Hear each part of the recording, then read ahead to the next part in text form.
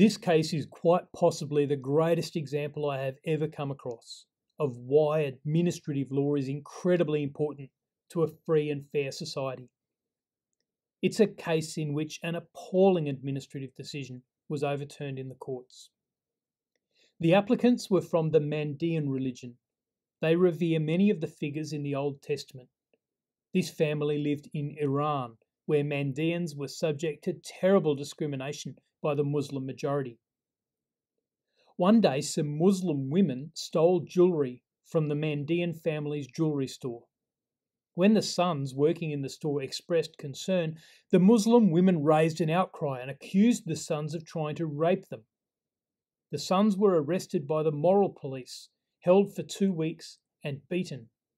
When they returned home, they were overheard by their neighbours criticising the Muslim regime. They were beaten again the family fled to Australia. To its shame, the Refugee Review Tribunal ignored great portions of the evidence and formed the view that the discrimination against Mandeans was not persecution, so this family should return to Iran. The family appealed, alleging that the decision had been made in bad faith. Justice Mansfield was politely scathing. He began by noting the circumstances in which the court might find an administrative decision maker has not acted in good faith are likely to be rare and extreme. Errors of fact or law will not of themselves demonstrate a lack of good faith, other than in exceptional circumstances. Illogicality will not itself demonstrate a lack of good faith.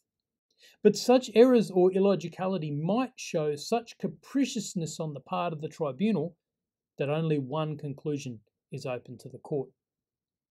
He went on to find that the tribunal failed to adequately address the applicant's claims that discrimination experienced by them as Sabian Mandeans amounts to persecution.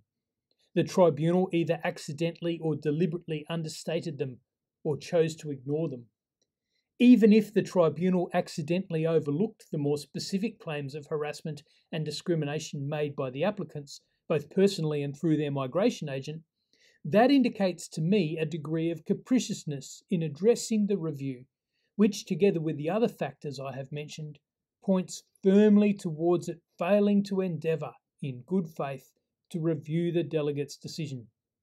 He overturned the appalling decision and thank goodness for administrative law, which gave him the power to do so.